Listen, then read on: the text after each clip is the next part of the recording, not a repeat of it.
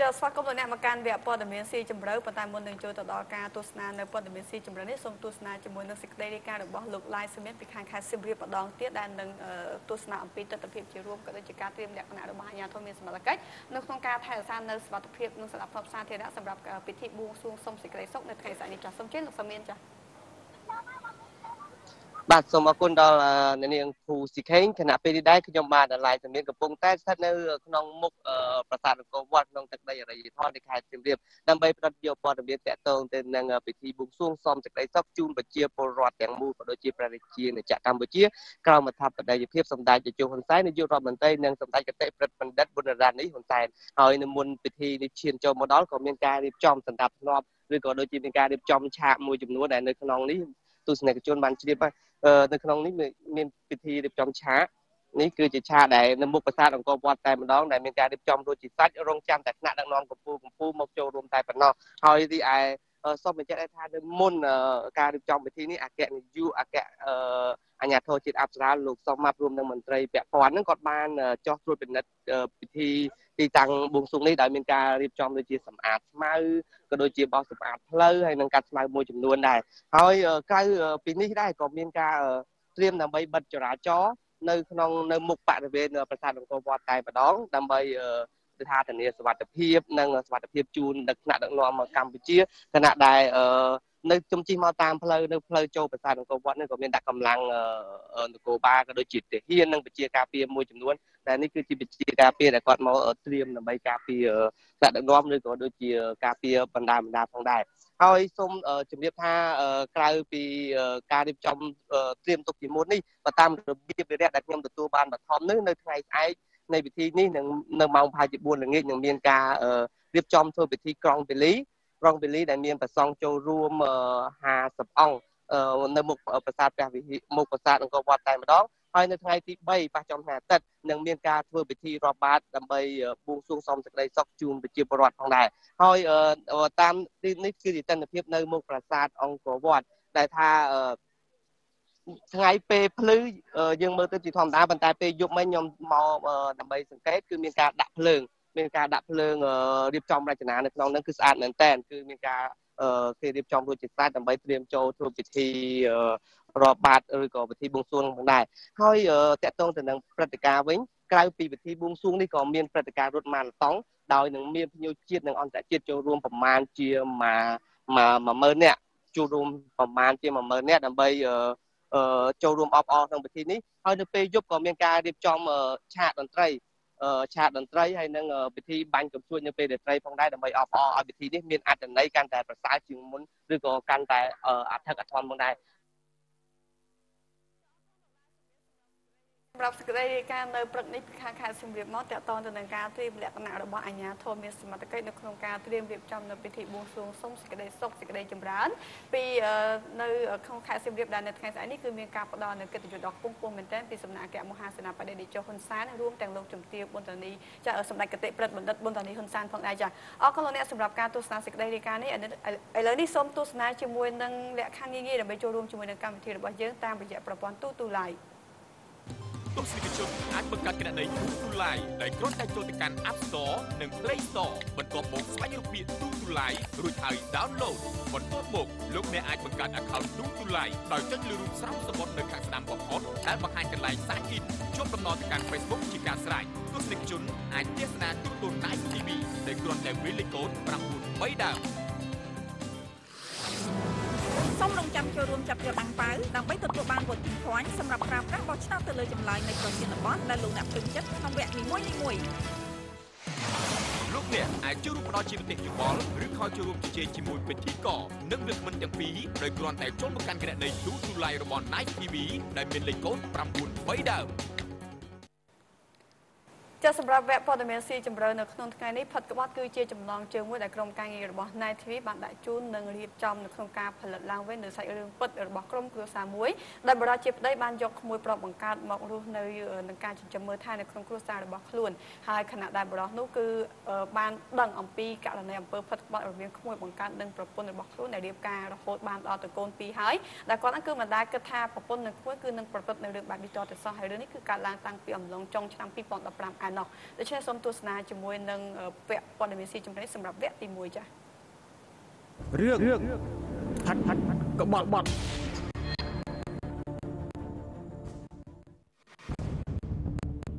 អំពើផាត់ក្បត់នៅក្នុងសង្គមបាននឹងកំពុងតែកើតឡើងគួរឲ្យព្រួយបារម្ភអ្នកដែលបានប្រព្រឹត្តខុសនៅក្នុងគ្រោះតណ្ហាតែងនាំគ្នាពោលដោះសារថាម៉ូបាំងមានរឿង ពិតមួយបានកើតឡើងកាលពីថ្ងៃទី31ខែវិច្ឆិកាឆ្នាំ2015នៅផ្ទះសំណាក់មួយកន្លែងក្នុងសង្កាត់កាកាបខណ្ឌពោធិ៍សែនជ័យរាជធានីភ្នំពេញអូនឃើញក្រេះសសក់អូន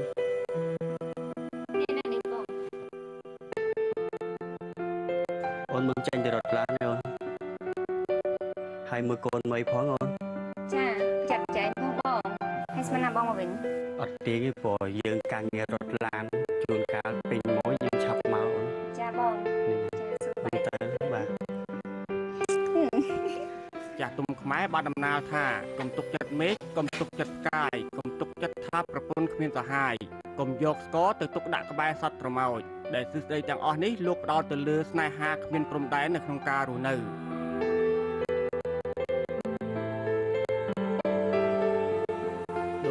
ដូចជាបរិះម្នាក់នេះបានយកក្មួយប្រុសបង្កើតមករស់នៅជាមួយហើយក៏មិនដែលនឹកគិតថាភរិយាដែលរួមរស់ជាមួយគ្នាជាច្រើនឆ្នាំរហូតបានកូនពីរទៅហើយនោះហ៊ានក្បត់ចិត្តទៅលួចបង្កាត់ភ្លើងតណ្ហាជាមួយក្មួយខ្លួនឯងនោះដែរ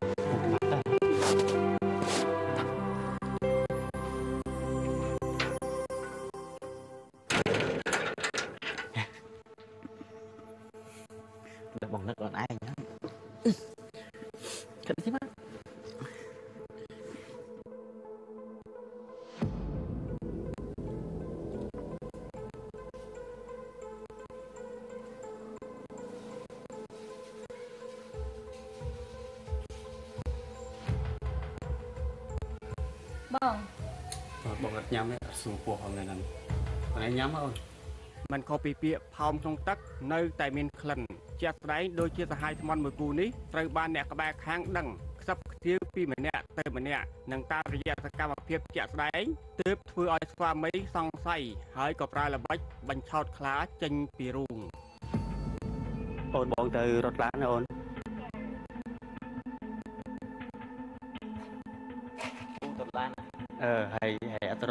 រត់ម៉ូតូដប់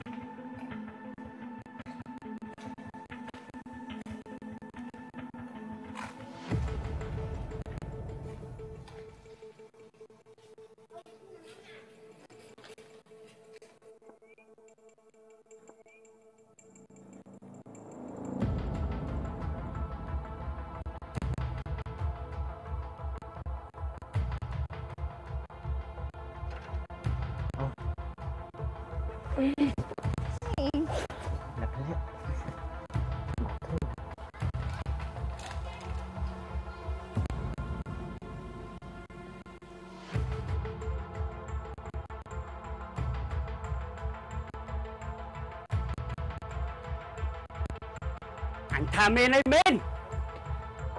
អាចឈាមខ្មៅវិស័យលមុខតណ្ហាឯងចេះខ្មាស់អ្នកសក់ភូមិអីឯងធ្វើយ៉ាងនេះអញទៅធ្វើការរលុយតែឯងបែរជាមកធ្វើស្មុកត្រកនៅក្នុងផ្ទះទៅវិញអាចរៃខ្ញុំខំពូនខ្ញុំទៅពូនអញលើកលែងទោសឲ្យម្ដងចុះដោយសារតែអញយល់កូនអញណិតកូន ហើយនឹងគិតទៅយកកូនអញខាច់ខ្មាស់អ្នកសពព្រះភូមិនេះតែអាថោកទៀតនេះចេញពីផ្ទះអញទៅទៅឲ្យផុតមុខមុនអញទៅកុំអញកាប់ឯងតន់គឺមកអាឈាមខ្មៅនេះឯងគិតចឹងដែរហើយ3ថ្ងៃក្រោយ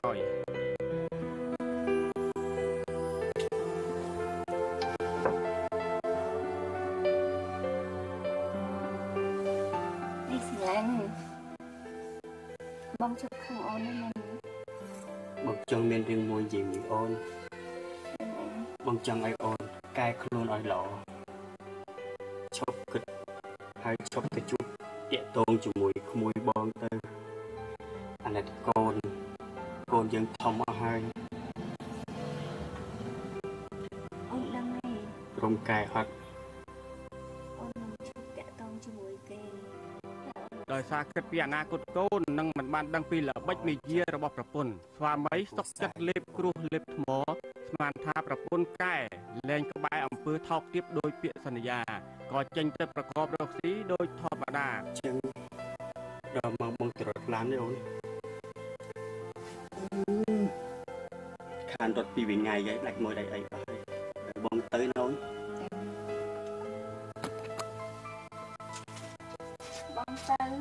ប្រយ័ត្នប្រយែងហើយប្រញាប់មកវិញណាហ្នឹងហើយហើយមើលកូនមួយផងចា៎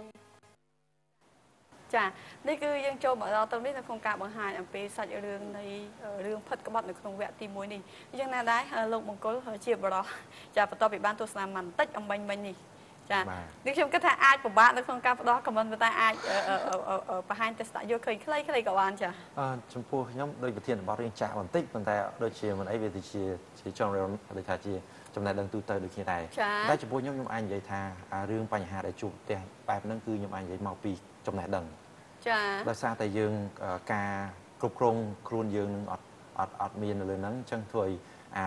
អារឿងមួយចំនួនដែល ដែលរឿងមិនប្រាចាកពីអឺប្រាចាកពីសិលធសិលម៌ធម៌ឬក៏ចា៎អារឿងដែលយើងគិតថា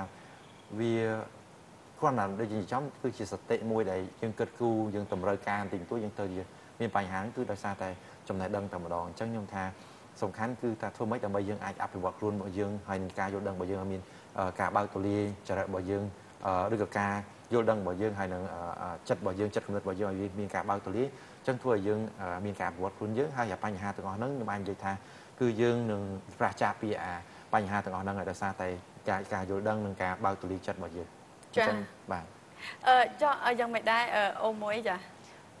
នឹងជាបញ្ហាសង្គមដែលអឺកើតមានច្រើនចា៎នៅក្នុងសង្គមរបស់យើងអញ្ចឹងតកតងទៅនឹងការសិក្សាអប់រំការពិតការសិក្សាអប់រំមិនមែនចង់និយាយថាតើតនៅសាលារៀនទេ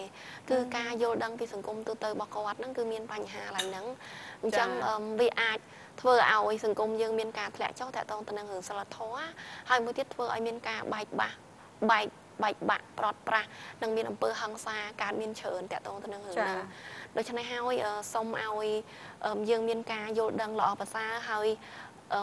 លើកកម្ពស់តកតងទៅនឹងរឿងអឺគុណតម្លៃហើយនឹងគុណធម៌អសិលធម៌រស់នៅខ្លួនឯងចាអ្វីត្បិតតែនៅក្នុងសង្គមនៅក្នុងគ្រួសារឬក៏សម្រាប់សង្គមជាតិក៏ដោយឲ្យយើងមើលហើយយើងមើលវាជាឧទាហរណ៍ថាវាមិនមែនជារឿងដែលល្អប្រសើរទេហើយចាត្រូវចេះគិតខ្លួនឯងថាអ្វីដែលយើងគួរធ្វើអ្វីដែលយើងមិនគួរធ្វើហើយវាមានលក្ខណៈប៉ះពាល់បែបម៉េចដែរចាមកដល់កិត្តិយសគ្រួសាររបស់យើងនិងចា៎សាច់ញាតិសន្តានទាំងអស់ចាពិសេសហ្នឹងគឺអាចប៉ះពាល់ទៅដល់អនាគតកូនកូនចាឥឡូវនេះយើងចូលមកដល់សំណួរសម្រាប់ធ្វើការបោះឆ្នោតបន្តិចដែលនឹងខ្ញុំនឹងផ្ដល់ជូនតើលោកអ្នកគ្រប់គ្រងឲ្យបរិយជាប្តីនឹងលែងលះជាមួយស្ត្រីដែលដែលលួចមានសហាយស្មន់ជាមួយនឹងធ្វើបង្កើតខ្លួនឯងឬក៏យ៉ាងណាចាអញ្ចឹងចំពោះចម្លើយហ្នឹងគឺកគ្រប់គ្រងរីឯចម្លើយខមិនគ្រប់គ្រងហើយក្រុមការរបស់យើងគឺនឹងទម្លាក់នៅកញ្ចប់អាំងប៉ាវចាគឺកញ្ចប់បន្ទុកដើម្បីផ្ដល់បន្ទុកទៅដល់លោកអ្នកសម្រាប់ធ្វើការបោះឆ្នោតហើយលទ្ធផលនេះខ្ញុំនឹងប្រកាសនៅចុងវគ្គនៃកម្មវិធីនេះតែម្ដងចាអរគុណឥឡូវនេះយើងកុំឲ្យខាតពេលយូរយើងនឹងបន្តទៅទស្សនានៅសាច់រឿងផិតក្បត់នេះភាគទី2បន្តទៀតចា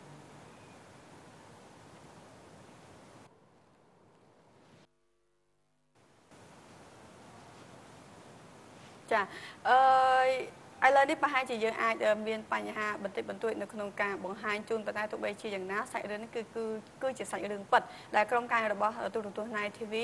ព្យាយាមសិក្សាទៅលើសាច់រឿងនេះហើយធ្វើការបង្ហាញជូននៅវីដេអូជា3ភាគឥឡូវនេះគឺភាគទី2យើងនឹងទទួលបានឥឡូវនេះតែម្ដងគឺសូមបង្ហាញជូនលោកអ្នកនៅក្នុងពេលនេះចា៎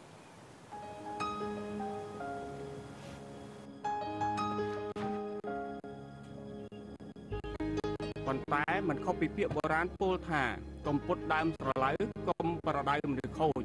គ្រាន់តែប្តីចេញផុតពីផ្ទះស្រីផាត់ប្តីម្នាក់នេះរស័ព្ទរសល់ទ្រាំមិនបានក៏ចុចទូរស័ព្ទទៅរកប្រុសសាហាយភ្លាមភ្លាមៗផងដែរហៅឡូបងបងនៅណាហ្នឹងនឹកបងនេះ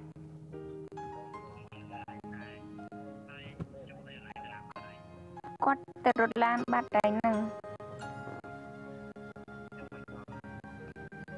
ចាហើយចង់ជួបបងឯងហ្នឹង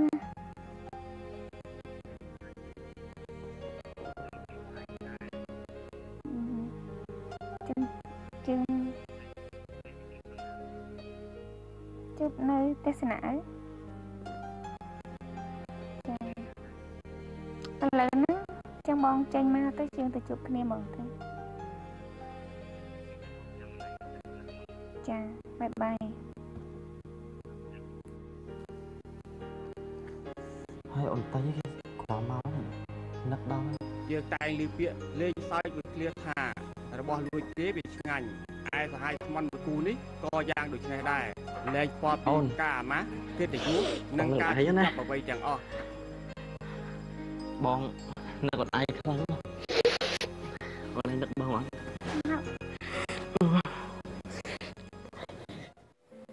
ហើយអ្វីដែលកាន់តែគួរអាណិតថែមទៀតនោះ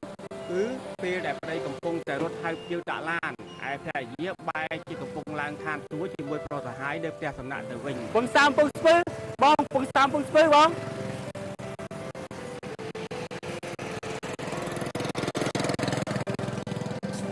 ជិះលេខ4 ពងសាមពងស្ពឺបងពងសាមពងស្ពឺ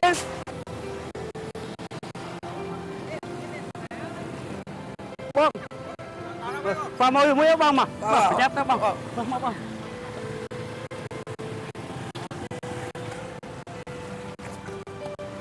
សាត់បងឯងមួយតាប្រញាប់បង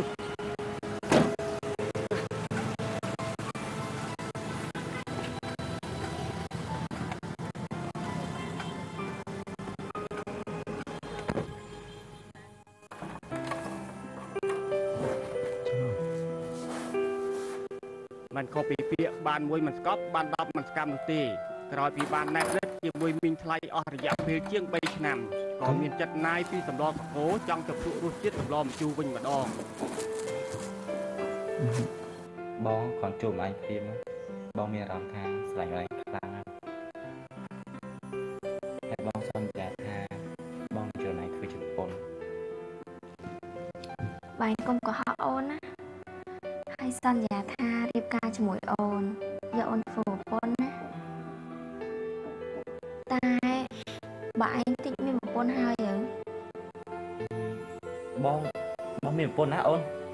បងស្បត់បើបងមានប្រពន្ធមែនទេបាញ់ផ្ទះបាញ់ចោះ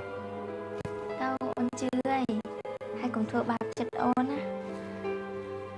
កុំឲ្យអនាគតអូនខូចដោយសារបងឲ្យសោះបងសន្យារូបគេបានទៅលួចជាប់និស្ស័យស្នេហ៍ជាមួយនឹងស្រីក្មេងដ៏ស្រស់សោភាម្នាក់ទៀតលែងមករវីរវល់ជាមួយដៃគូចាស់ទើបធ្វើឲ្យនាងច្រាស់ច្រាលនៅមិនសុខទូរស័ព្ទរកខ្វាត់ខ្វែងរហូតតាមទាន់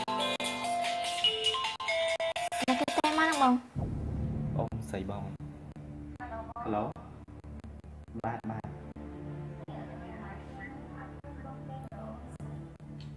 អឺបងរវល់ធ្វើការហ្នឹងអូនបើភ្ញៀវមកច្រើនពេកឥឡូវប៉ុណ្ណឹងសិនណាបងកំពុងជិះម៉ូតូណាអូនស្រីបងមែន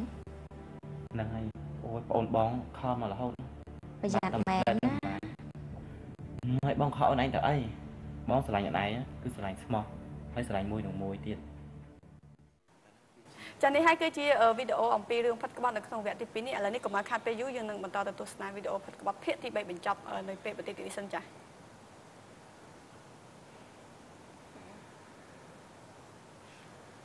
ចាឥឡូវនេះគឺវីដេអូនេះគឺយើងបានត្រៀមលក្ខណៈឲ្យសម្រាប់ក្រុមការងារបង្ហាញឥឡូវនេះតែម្ដងដោយសារតែពេលយើងគឺគៀកមែនតើហើយ ដើរលេងដែរចាំចាប់បងបងដែរម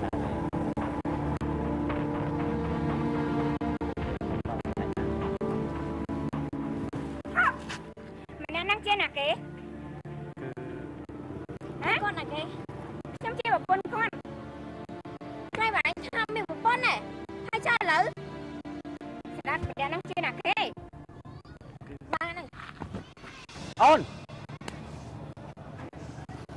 ត់ខ្លាយបើអញថាមានប្រពន្ធហ៎ហើយចុះឥឡូវស្ដាប់ម្នាក់ហ្នឹងជាណាគេបានហ្នឹងអូនអូនស្ដាប់បងសិនអូនជប់បាត់ទៅអញសុំខំណាអូនកុំខឹ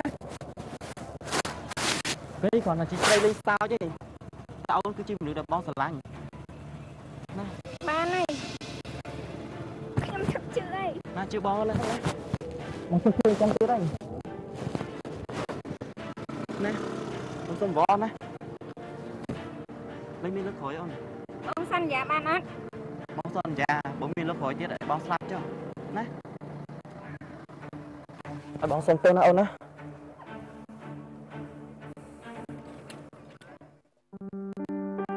អូនលោកឯងស្រឡាញ់បងអត់ស្រឡាញ់ហើយស្រឡាញ់ខ្លាំងទៀតផងបងគិតថារាល់ថ្ងៃហ្នឹងយើងស្រឡាញ់គ្នាគឺពិបាកមែនតើ ចុះបើដឹងថ្ងៃណាមួយពូបងដឹងគាត់គាត់ជាសម្រាប់បងជាមិនខានទេហើយយើងរស់នៅមួយគ្នាគឺពិបាកមែនតើ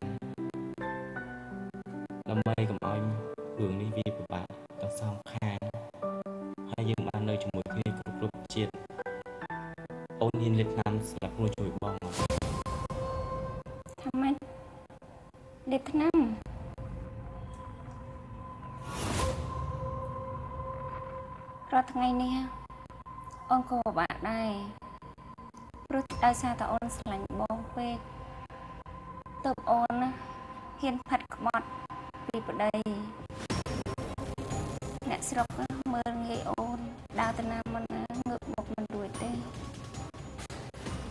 តែបើសិនជាបងហ៊ានធ្វើបែបហ្នឹងអូនក៏ហ៊ានដែរដើម្បីឲ្យវាចប់រឿងតែម្ដងទៅ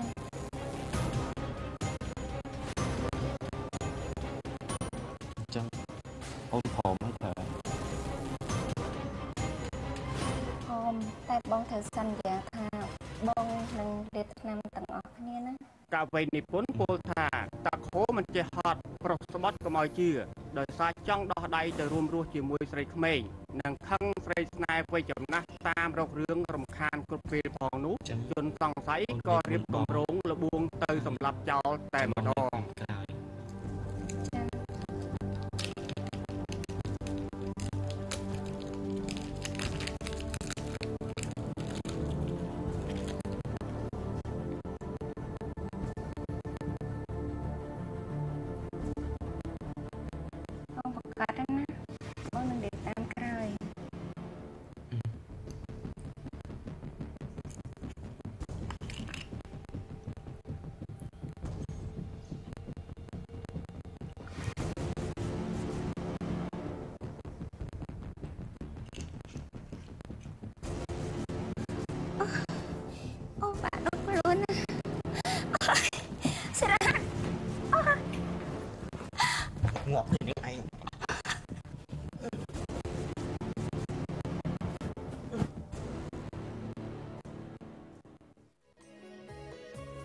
ពាក់ព័ន្ធជាមួយនឹងរឿងផិតក្បត់មួយនេះដែរមានសាច់ញាតិក៏ដូចជាប្រជាពលរដ្ឋមួយចំនួនបានសម្ដែងអារម្មណ៍មិនគាំទ្រជាដាច់ខាតហើយថែមទាំងមានកំហឹងចំពោះនារីរងគ្រោះដែលបានផិតស្វាមីនោះទៀតផង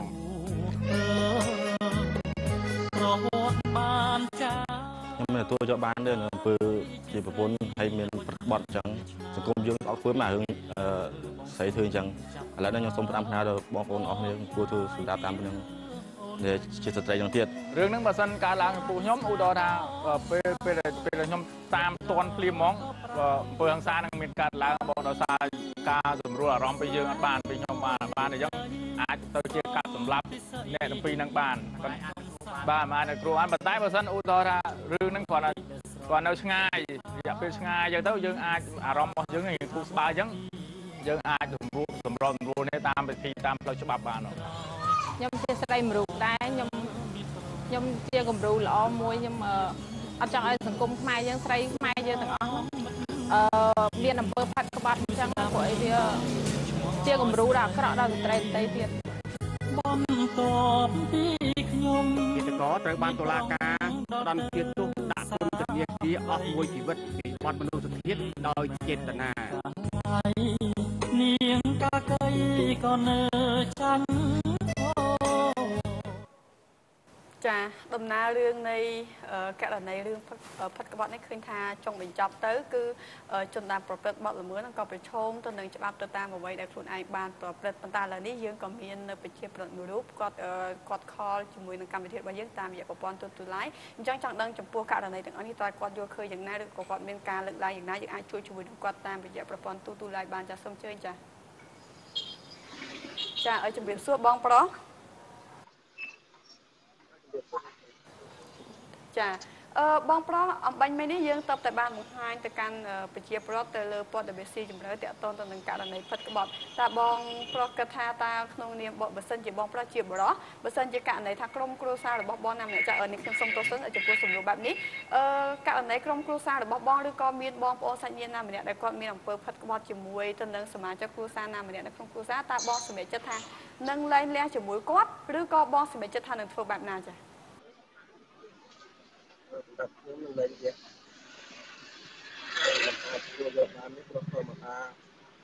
លេងយើងមកមានអត្តមកហើយអារម្មណ៍ទៅល្អទៅពេលរស់នៅជាមួយគ្នាអឺដើម្បីឲ្យសុភមង្គលគ្រួសារមួយរត់តែមានភាពរឹងមាំនិងកាន់តែល្អប្រសើរប្រសិនគឺដើម្បីជាអនាគតទៅដល់ គេហៅថាបទធីតានៅក្នុងបន្ទប់គ្រួសារតើបងប្រុសគាត់ថានៅក្នុងសមាជិកគ្រួសារដែលមានឪពុកនិងម្ដាយគឺជាអាណាព្យាបាលនិងជាបង្គោលដ៏ធំតើយើងគួរតែធ្វើយ៉ាងណាតែដើម្បីជៀសវាងឲ្យបានអំពីអាការៈលើផិតក្បត់នេះចា៎